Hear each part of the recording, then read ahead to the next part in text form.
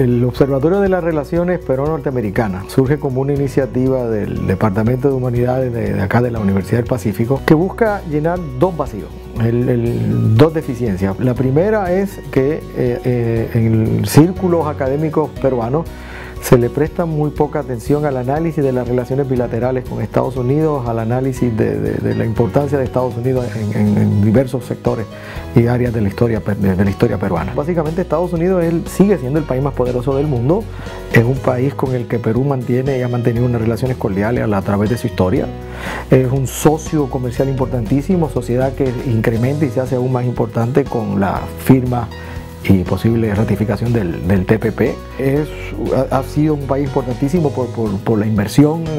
económica en el Perú, por el papel que ha jugado diplomáticamente en distintos periodos de la historia peruana, por la influencia cultural que tiene, porque en Estados Unidos viven miles de peruanos legales e ilegales, y es un país en donde se invierte una cantidad enorme de dinero en estudiar a, los países de América Latina y curiosamente no hay tal cosa a la inversa. Y en el, en el Perú no hay como tal un centro que estudie Estados Unidos, que estudie la relación y la importancia de, la relación bilateral con Estados Unidos para el Perú. Y lo que busca el centro es llenar eso, o sea, fomentar trabajos de investigación multidisciplinaria que enfoquen temas históricos, sociológicos, eh, políticos, económicos, y que, ayuden a entender mejor la, evolución de, esas relaciones para, para mejorarlas y profundizarlas. Y en el segundo lugar, pues lo que busca el, observatorio es pues, llenar un vacío. O sea, en el Perú hay un desconocimiento profundo sobre la sociedad norteamericana, sobre su historia, sobre sus instituciones políticas, sobre su eh, organización económica. Y pues eso creo que pone a los peruanos en desventaja a la hora de relacionarse con el Perú y lo que busca el, observatorio es llenar ese vacío eh, a través de un portal. Y este portal lo que quiere es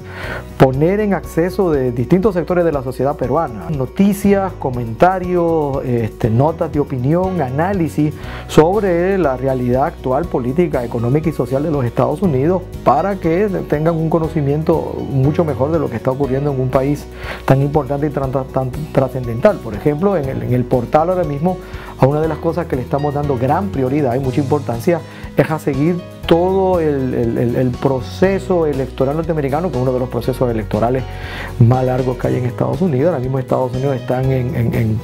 primarias para escoger los candidatos a la presidencia y le estamos dando mucha atención a tanto los debates como a, las campañas de los republicanos como de los demócratas, porque uno de esos candidatos se va a convertir en presidente de los Estados Unidos, que vuelvo y repito, es el, sigue siendo el país más poderoso y por lo tanto va a tener esa persona un enorme poder, una influencia no solo en su país, sino en, eh, en, este hemisferio. Yo extiendo una, una cordial invitación a, todos los colegas y, miembros de la comunidad de la Universidad del Pacífico, igual al público general y a otros colegas y a otras personas de otras universidades,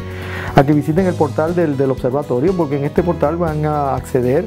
a información y análisis valioso que les va a ayudar a, tener una, una, idea mejor de, de lo que es ese país tan complicado pero a la vez tan importante que es Estados Unidos.